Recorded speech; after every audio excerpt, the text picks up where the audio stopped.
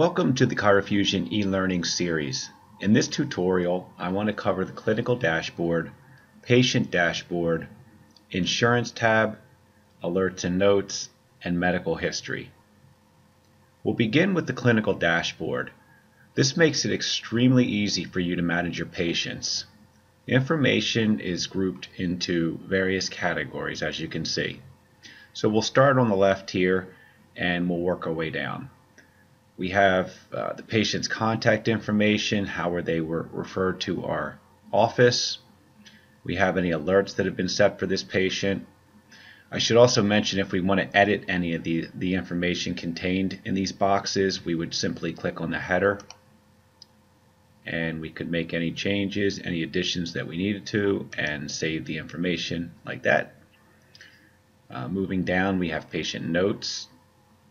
We have a financial snapshot right here, patient's primary insurance, number of authorized visits, if there were any, how many are remaining, patient's deductible and copay, and the insurance balance, patient balance, and total balance on this account.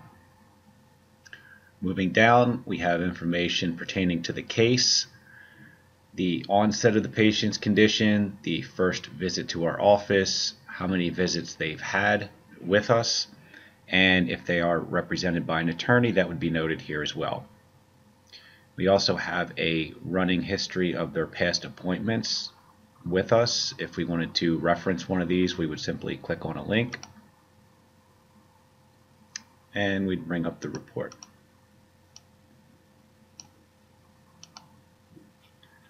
Moving on, we have uh, vitals. Again, if we click on the header, we're taken to a section where we can enter some a new set of vitals. Go back. Patient's medical history, any surgeries, family history, prior chiropractic care. And we can access this either by clicking the header or one of these tabs right over here, or this tab I should say and going to the past medical history. And have a lot of options uh, to document hospitalizations, allergies, social history, sexual, previous tests, medical procedures, dietary habits, and nutritional supplements. Okay.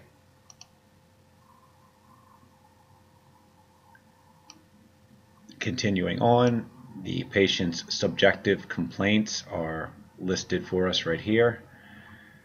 And any diagnostic studies that the patient has had to date will also be presented in uh, this section under diagnostic studies. Patient's diagnosis, care plan details. Again, it keeps a running tally for us. Uh, the initial care plan called for a total of 13 visits, and we have nine remaining. tells us that there's a follow-up exam due on September 3rd, and it also tells us the anticipated date of release for this patient. Um, continuing on, we have the patient's listings.